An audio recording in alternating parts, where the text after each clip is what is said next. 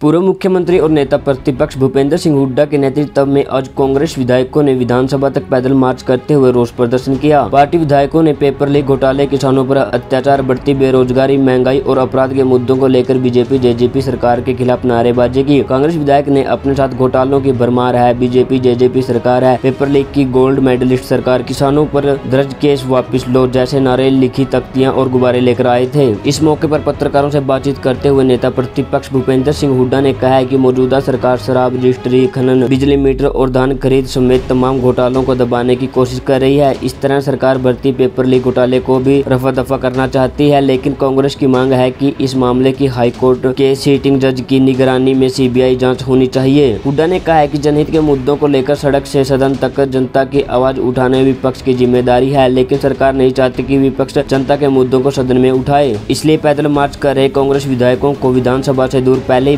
Barricade लगाकर रोकने की कोशिश की गई। इतना ही नहीं, पुलिस कर्मियों ने नेता, प्रतिपक्ष और विधायकों के साथ धक्का मुक्की की। इस पर भी कांग्रेस विधायकों ने कड़ी आपत्ति दर्ज करवाई और सदन में विशेष अधिकार के उल्लंघन का नोटिस दिया गया। नेता, प्रतिपक्ष ने कहा गठबंधन की सरकार के घोटालों, आंदोलनरत किसानों, बेरोजगारी का दस झेल रहे नौजवानों और बढ़ती महँगाई की मार झेल रही जनता के मुद्दों पर चर्चा के लिए विपक्ष में विधायकों ने कई सघन और काम रोको प्रस्ताव दिए, लेकिन सरकार की मंशा विधानसभा चलाने की नहीं है। क्योंकि बीएससी की मीटिंग में सात दिन की मांग के बावजूद मानसून सत्र की अवधि सिर्फ़ तीन दिन तय की गई है। इसे साफ़ है की सरकार तमाम मुद्दों पर जवाब देने से भाग रही है। सदन में चर्चा के दौरान भूपेंद्र सिंह हुड्डा ने कहा है कि सरकार जनता से कोरोना और ऑक्सीजन की कमी से मौतों का सच छिपा रही है। मौतों का सही आंकड़ा पता लगाने के लिए सरकार को उच्च स्तरीय कमेटी बनानी चाहिए। साथ ही सरकार को बताना चाहिए कि उसने पहली और दूसरी लहर के दौरान हुए नुकसान से क्या सबक लिया। अगर तीसरी लहर आती है तो इससे निपटने के लिए अब तक कितने डॉक्टर, नर्स, स्टाफ की भर्ती की गई है? हुड्डा ने सरकार से मांग की है कि ओलंपिक पदक विजेता खिलाड़ियों को उचित पद सम्मान दिया जाए। प्रदेश सरकार ने नीरज चोपड़ा के लिए सेना में ऑनरेरी कर्नल पद देने की सिफारिश करनी चाहिए। रवि दया बजरंग पुनिया और हॉकी खिलाड़ियों को सीधे डीएसपी नियुक्त करना चाहिए। साथ ही प्रदेश के सभी ओलंपिक प्रतिभागियों को एक करोड़ प्रस्थान राशि दी जाए। हल्ला बोल, हरियाणा।